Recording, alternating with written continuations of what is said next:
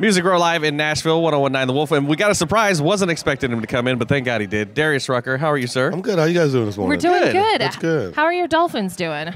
There's we won two in a row, man. Yeah. We're Oh, back. We're back. That's yeah, uh, twice it. as many as the Niners. I know. we are hurting. Yeah, up that's true. That's true. oh man, we are really hurting. Well, how was your Halloween? It was great. It was great. The kids went out and trick or treated, and the parents sat around and drank some wine. So it was perfect. I, I saw on Facebook that your house was the place to be because you had the full size full candy size. We do. We've been doing that. I've been doing that for 15 years now. I give out the full size candy bars. We have a small neighborhood, so we don't get a lot of kids. but- Oh, Okay. really? Yeah, but it was cool. It was cool. What do you do with the hardly, leftovers? They hardly walk around anymore. I, we were trying to see no kids walk Uh, around. kids were riding bikes and golf carts. I was like, what What? is up with that?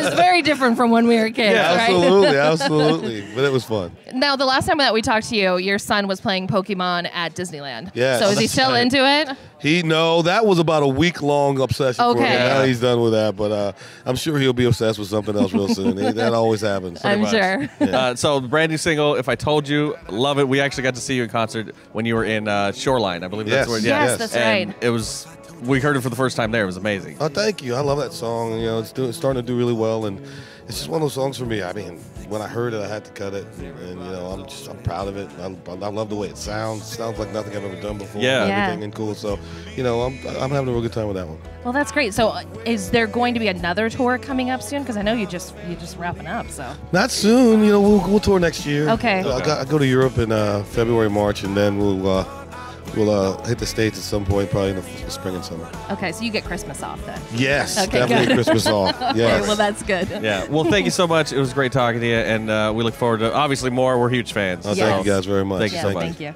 Darius Rucker here at Music Row Live and 1019 The Wolf.